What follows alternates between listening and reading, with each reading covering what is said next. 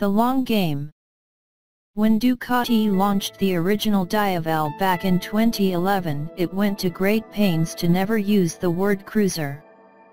But Ducati are happy to use that label for the X Diavel. So was that fear of the C word why Ducati launched the Diavel first, as a precursor to a fully blown cruiser, or was the X Diavel only conceived after the success of the existing Diavel? Head of Advanced Vehicle Design Gianandrea Fabbro told MCN, the Diavel had to exist before this bike. The Diavel had to be our first gentle step into the cruiser market, but the X Diavel is now a real cruiser which will try to take advantage of a market with huge potential. If we had arrived with the X Diavel before the Diavel, it would have scared a lot of people at Ducati. Head of Marketing for the X Diavel Stefano Terrabizzi said, This is a brave move by Ducati, but the opportunity for growth in the market is vital for us, because the potential size of that market is huge.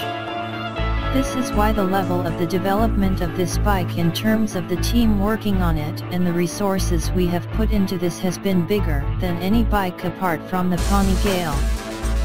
Fabbro, the designer behind the Panigale, oversaw the work on the X-Diavel. He added, the first work we did was spend some time in America with an existing Diavel, a Panigale 1199, a Harley-Davidson Fat Boy and a Street Glide. We spent a lot of time riding around to understand what makes for a good bike in America. When we came back, we built a bike to show the Ducati bosses and it was quite extreme. It was very long, very low, and I think it scared people a little bit. We did some work but you can see the production bike has barely changed since the first clay model.